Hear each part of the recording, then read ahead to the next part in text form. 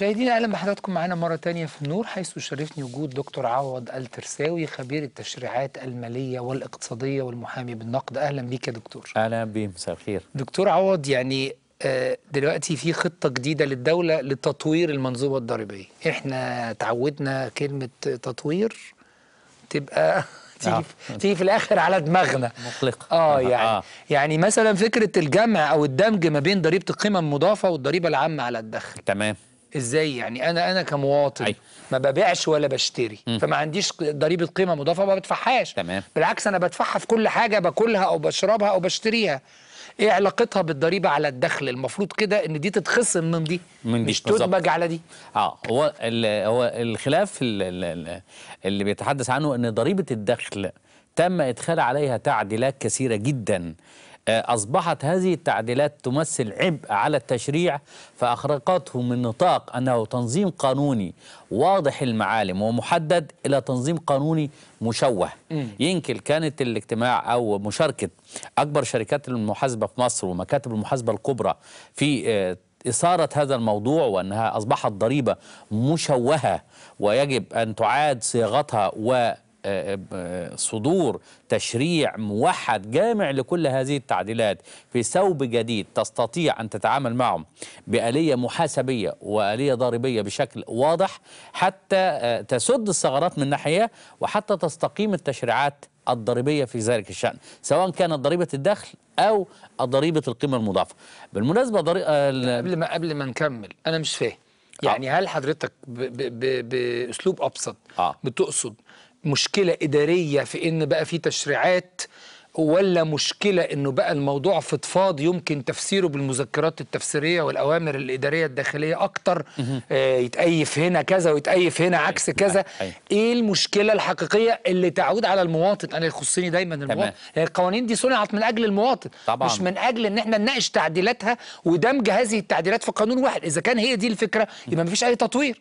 إحنا هناخد ألف وب وج ودال ونعملهم حاجة واحدة. لا. بالفعل هم العيبين اللي حضرتك تحدثت عنهم هم بالفعل موجودين كويس. كون كثرة إنك كثرة التعديلات أيوة. على قانون معين معنى ذلك بيفقد أنك القانون جوهره جوهره ب- يعني إحنا بنقول زي ما نقولها كده بنرقع القانون أيوه بالظبط فترقيع القانون معنى إن القانون أصبح غير صالح مم. أو به كثير من العوار أو المشاكل تمام. التطبيقية تمام. التي تحتاج معالجة جديدة تمام. المعالجة الجديدة للضرائب لها تنظيم دستوري محدد مم. في انها تنظم بقانون. فكلما كان يحدث تغييرا أو آه، تحدث مشكلة تعديل. آه بضطر أدخل عن تدخل تشريعي مش تدخل لائحي. آه. والتدخل اللائحي عادة دائما. إذا ما جاء التدخل اللائحي بإحالة إلى السلطة التنفيذية تتدخل السلطة التنفيذية اللي هي وزير المالية بإصدار قرارات. عادة هذه القرارات سواء كانت تنفيذية لائحية أو قرارات آه، فردية تنشئ مراكز قانونية مضطربة يقضى فيها بعدم الدستورية. آه. عندنا بقى عدد كثير جدا جدا من المسائل المتعلقة المقضي فيها بعدم الدستورية ليه؟ لأن حماية التنظيم الضريبي للدولة المصرية نص عليه في الدستور صراحة أنها تنظم بقانون دون أي رسوم أخرى للدولة. يعني أي رسوم أخرى للدولة أو تح- متحصلات يتم تحصيلها في حدود القانون في حدود القانون غير بقانون. بقانون أن تنظم من بتشريع صادر من البرلمان. هنا بقى التدخلات المتعددة من سنة 81 والتطورات شوهت القانون. طيب. خلته مربك للتعامل ماشي. مع الأساس المحاسبي بتاعه برضو ده ده ما فيما يخص علاقة الدولة بمكاتب المحاسبه أيوه. لكن المواطن ما هو المواطن هو المناط بيه ما هو الوعاء الضريبي أنا عايز أعرف دلوقتي قانون الضريبة على الدخل اللي كان شغال واللي بيصل إلى آه، 22% من 22% الدخل تمام. في الشرايح دي. تمام.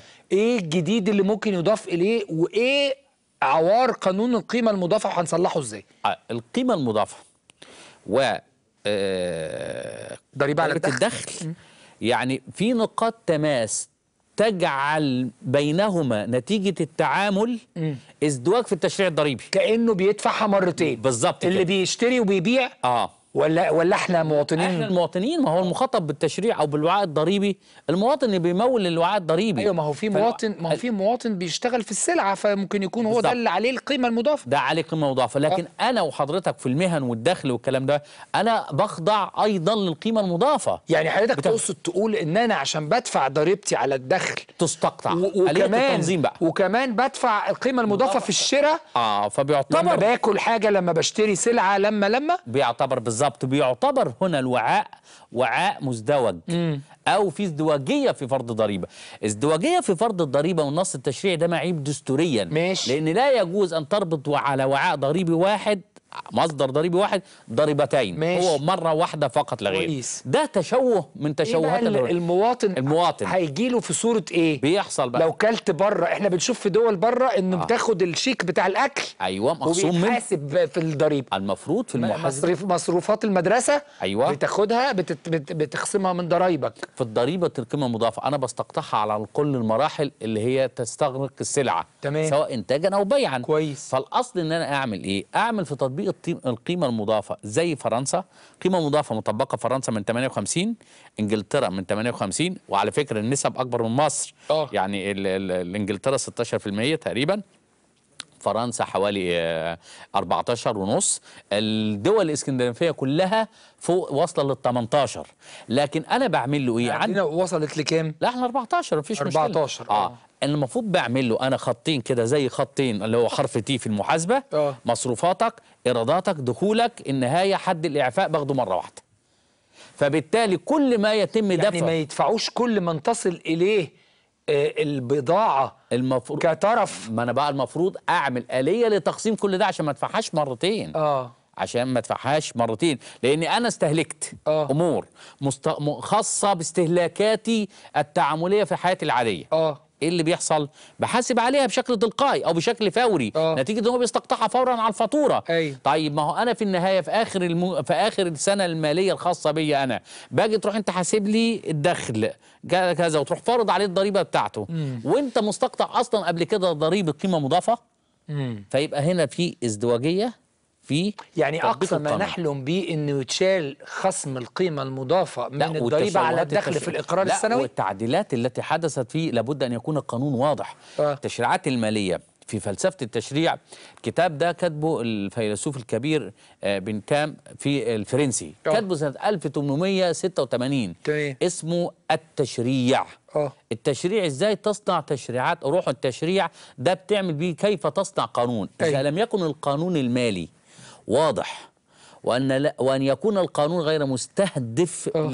للجباية يعني وده على فكرة المبادئ دي كلها قررتها المحكمه الدستورية العليا أيوة. يعني أنا عندي عشر مبادئ القضاء الدستوري المصري مقررهم في مسائل المتعلقة ببطلان العديد من يعني النصوص يكاد يكون. القانون جاهز آه طبعا بالقرارات السابقة هو- للمحكمة بالظبط قراءات ما هي بتحط لك الضوابط والأطر الدستورية لأن أنا قلت في بداية كلامي مع سعادتك إن المحكمة الدستورية أو تنظيم القانون بيكون تنظيم بتشريع صحيح. بقانون وبالتالي مناط الرقابة عليه آه. أو تطبيقه بيكون من خلال المحكمة الدستورية العليا طيب، سواء لوائح أو قوانين طب امبارح وزير المالية قال إن في لجنة لمراجعة الدخل طب.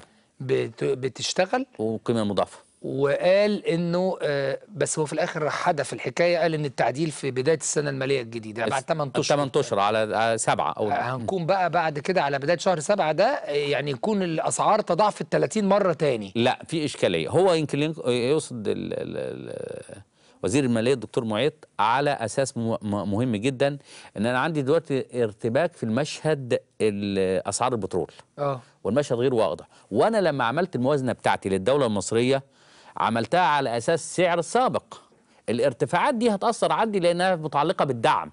فبالتالي هتزداد أو هتتحمل الموازنة العامة للدولة هذا الفرق الكبير في زيادة الأسعار.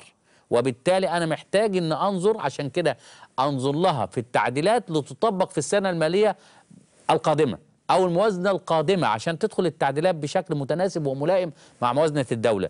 هو ربما قصد السياسة التشريعيه ان تكون على هذا النسق.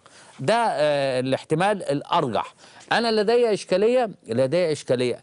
لما طبقت اللي يعني أنا عندي كان سابقة هي آه، ضريبة القيمة المضافة دي هي إيه؟ هو التطبيق الصحيح للتشوه الذي كان سابقا فيها على ضريبة المبيعات. مبيعات آه. ما هي المبيعات؟ أنت بتاخد التشريع ب... ب... من من من أوروبا أو التشريعات المالية من أوروبا بتشوهها لأنك أنت بتتدخل فيها بتدخلات غير منطقية. عاوز تأقلمها أو تعمل لها الصبغة المحلية أو الإقليمية لك. فيختل التوازن رغم إن دي تشريح تشريعات هندسية موحدة المفروض ستاندر موحدة على مستوى العالم. إيه حضرتك أنا سئلت سؤال من مأمور ضرايب في مرة سؤال الحقيقة ما عرفتش أجاوبه. أيوه سؤال المفروض هو اللي يجاوبه بس آه. هو الراجل بيقول بيطرح كلام منطقي. بيقول هو مش إحنا. عندنا ال- ال- الحد الأدنى للمرتبات أيوة. 1300 جنيه؟ آه. صح؟ أيوه طيب يبقى اذا أبسط حاجة إن أنا أقول لك 1300 في 12 مع فيه ده حد الإعفاء. حد الإعفاء. ده أبسط منطقي. حاجة. آه طبعا ده منطقي. طيب ما بيحصلش ليه؟ لا أقول لحضرتك بقى على حاجة. اتفضل. في التشريع المالي الضريبي السليم وفقا للضوابط الدستورية إن الضريبة عندما تفرض تفرض على أسس موضوعيه كويس. يعني إيه أسس موضوعيه اللفظ الدستوري المحكم ده. اتفضل. يعني على ضوابط دستورية محددة وعلى أسس إنفاق وتصرف حقيقية. آه. وبالتالي كل ما هو من مستلزمات الضروريه للإنسان يجب أن تعفى وتكون حد إعفاء. لذلك لما جينا معامله ضريبيه للقيمه المضافة قالوا عندنا 32 سلعة خارج نطاق الإيه؟ التطبيق لأنهم أصلا سلع ضرورية للإنسان. لا ضرورية للإنسان. آه، آه. آه فما يقدرش يفرض عليها ضريبة لأن هيحملها بأعباء. فهنا تأتي الفكرة الموضوعية. ما إحنا بنقول الضوابط الدستورية في التشريع الضريبي مهمة ليه؟ لأنها ضوابط شديدة الدقة شديدة القيد. يعني ال... هقول لحضرتك الخلل بيجي منين. أنا عندي آه حدود التقييد. أنا كإدارة اللي هي الدولة جهاز السلطة التنفيذية بهرب بنا إلى حدود التقدير. آه. فأخرجها دي إزاي؟ اللي هي في المنشورات والتعليمات الداخلية لتطبيق وكيفية احتساب الضريبة. هنا بيجي ارتباك وعندنا مشهد كبير في الضرائب العقارية. آه. التعليمات ديت بهذا الشكل وهذا والمنشورات كان إلى إلى إلى حد قريب كان القضاء الإداري. لا يفرض عليها رقابة. آه. لأن هو بيراقب القرارات الإدارية فقط. اللي هي الصبغة القرارية. إنما يقول لك المنشورات والتعليمات أنا ما راقبهاش لأنها تعليمات داخلية. لكن استحدث في القضاء الفرنسي والمجلس الدستوري الفرنسي اللي هو على نسق المجلس الدستور المجلس المصري. الدولة الفرنسي المجلس الدولة المصري. استحدث حكمين في 2016 إيه الحكمين دول بيقولوا إيه؟ بيقولوا إذا كانت التعليمات أو المنشورات أو حتى الأحاديث الصحفية. آه. المعلنة إذا أثرت على المركز القانوني في التشريعات المالية أو في التشريعات الاقتصادية خضعت لرقابة القضاء. وفي حكمين صادرين من مجلس الدولة الفرنسي آه، بيخضعوا هذه التعليمات لرقابة القضاء ويسأل عنها الغاء وتعويضا. يعني ببساطة كده لو لو اتخذ توجيه إداري أو منشور أو شفوي أو تحريري منحرف. مختلف عن روح القانون خلاص يخضع للرقابة. يخضع. ده التطور اللي حدث في المجلس الد... مجلس الدولة الفرنسي ودول الحكمين دول في 2016 وإحنا هنطبق ده في هيطبقوا لأن القانون الجديد. هيطبقوا هيطبقوا. أنا كنت هطعن وأتخذ إجراءات في طعن معين بشكل معين لكن ال ال ال ال ال في بعض الإجراءات نتيجة تصريحات صحفية من أحد جات ولكن آه، بالفعل آه، كان الوزير المختص دقيق لأنه متخصص في في في الشغله بتاعت سوق المال فراح واقف إيه الإجراء تلقائيا هو من عنده حفظا على المال العام. لكن معنى ذلك أنه تنبه إلى الخطأ الذي ممكن أن يحدث في ذلك الوقت. كذلك التشريعات الضريبية والمالية. لابد أن توزن بميزان دقيق وألا تكون مصابة بالتشوش وألا يكون الغرض منها الضوابط الدستورية ألا يكون منها الغرض الجباية ألا تفرض الجزئيه اللي حضرتك بقى تسال عليه؟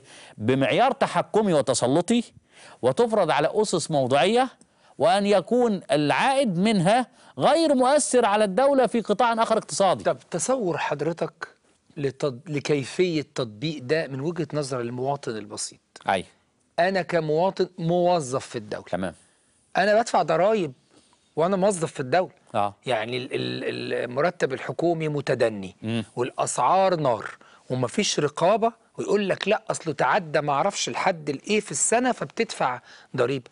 ده 100% عكس اللي حضرتك كنت بتقوله وعكس الضوابط الدستورية كلها. اللي أيوه اللي هو حضرتك بتقول إن أنا أشوف احتياجاتك الحقيقية طبعا. أنت لما مودي ولادك مدارس بفلوس أكبر ده أنا أشكرك وأساعدك وأساعدك لأن مش هقول لك لا ده. أنت بتدي ما بتودي مدارس لغات وأنت ما عندكش مرتب الحكومة. تعالى بقى ده أنت بتجيب منين اولا أنت اولا تكافئني على ان أنا بخفف عن كاهل الدولة بالظبط. إن أنا بوفر بحجز بوفر آه، desk أو مكان لطالب آخر آه. آه، بتحمل وبقدم لك مواطن آه، ذو جوده تعليمية بالظبط، عالية بالظبط. اي نافع وبالتالي أنا أكافئ على المنتج اللي أنا خرجته لك أنا هيحصل إزاي ده بقى؟ أنا خرجته لك هيحصل إزاي؟ هي حرف التي نفقاتك حد أدنى استهلاكها كلها بالكامل حد الإعفاء لابد أن يتناسب موضوعيا مش شخصيا مش هيرجع مش هيرجع يقول لك بقى لازم تمسك دفتر ولازم ت... مش عارف ما هو تعمل انت لازم تبقى ما هو برضه ده مش كنا بنتكلم على وكان الرئيس بيتكلم على الشمول المالي. آه. ما الشمول المالي يعني إيه؟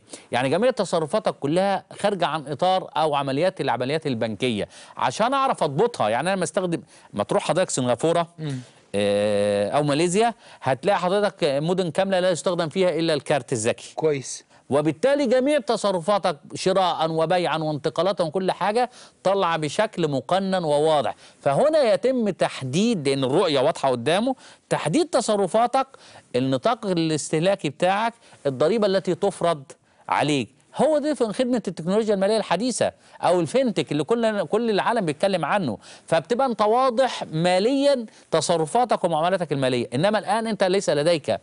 رؤية حقيقية؟ طب دي مشكلة أكبر. يعني إحنا إمتى؟ لا، مش إمتى؟ مشكلة. سنة كام في مصر ممكن نطبق فكرة. إن إحنا ما نطلعش فلوس من جيوبنا لبعض؟ أنت سعادتك رئيس في ألمانيا.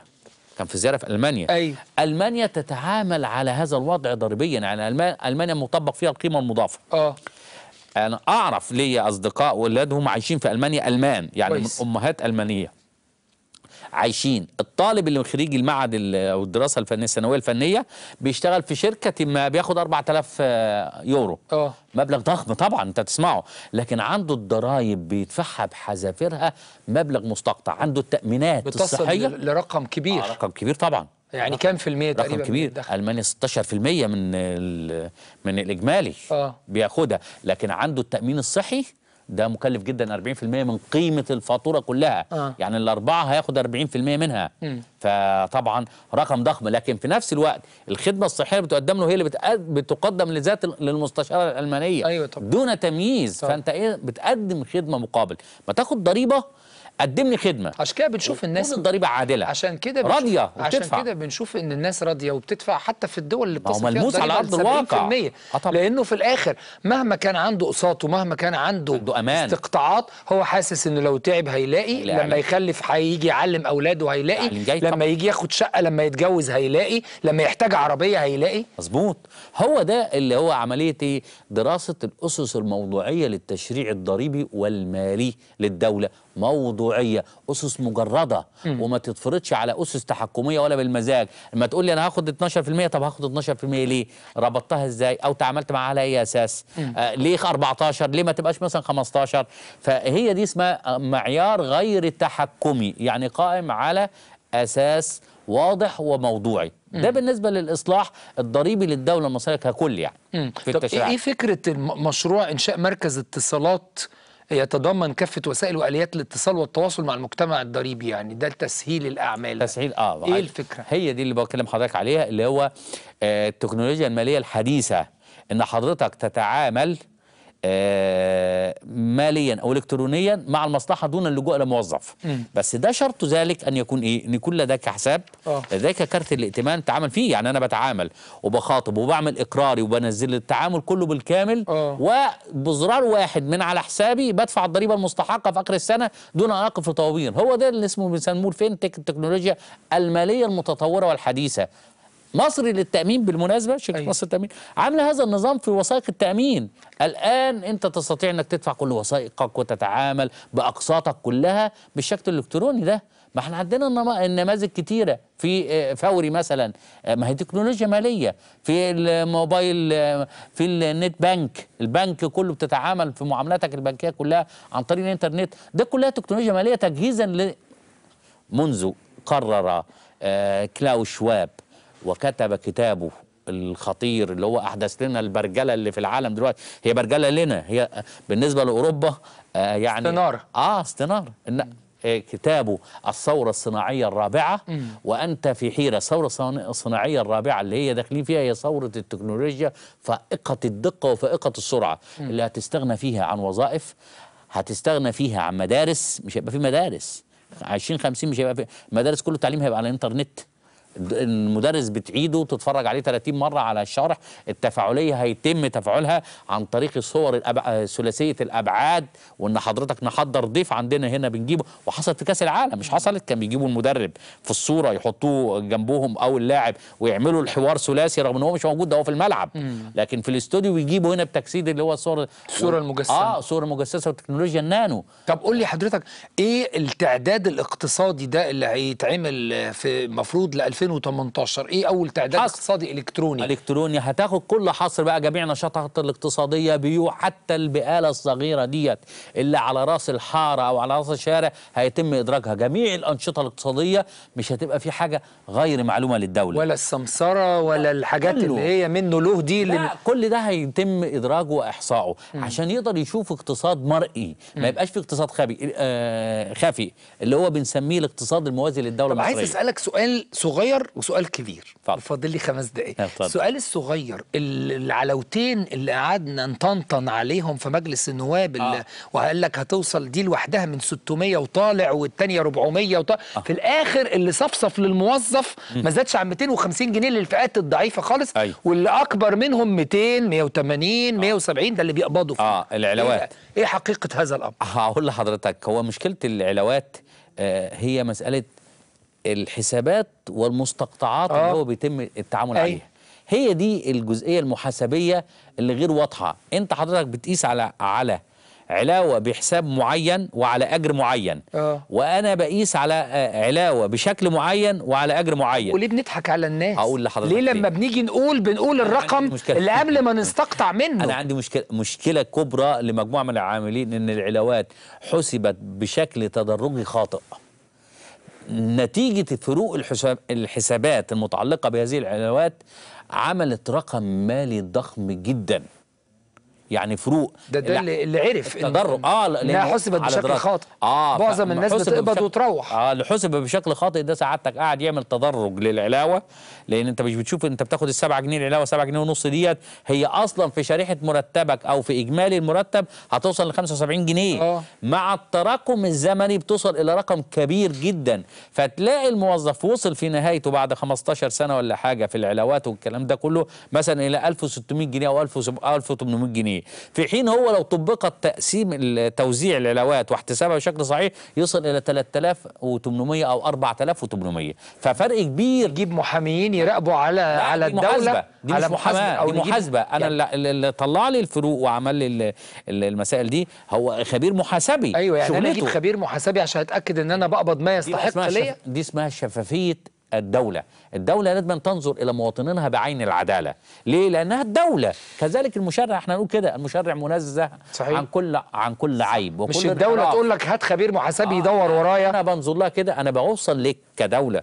دولة قانون. بقول لك يا أستاذ إيهاب أنت أنت أخطأت في حساب العلاوه وليك عندنا كذا. هي دي. ألمانيا كده. انجلترا كده أنا كان استاذي اللي بيدرس لي المالية العامة عليه رحمة الله الدكتور عاطف صدقي آه. فيعني والدكتور محمد الرزاز التشريع الضريبي طبعا. يعني فطاحل طبعا. فكانوا ما يجوا عند التشريع الضريبي يقول لك آه، في البعثات بتاعتنا دفعنا فلوس خطأ فوجئنا إن بعد ما رجعنا مصر أرسل إلينا خطاب من المعاملات إنك أنت في آه، استحقاقات تم. استقطاعها فدي تاخدها ويبعتها لك يدور عليك هنا. شفافية الدولة أو هنا دولة. دولة القانون ده مهم جدا ما نشوف ده في مصر يا رب نشوف التكنولوجيا ديت. والتقدم المالي شكرا جزيلا. دكتور عوض الترساوي خبير التشريعات المالية والاقتصادية والمحامي بالنقد بشكركم مشاهدينا نشوف حضراتكم على خير على خير يوم الأحد تصبحوا على خير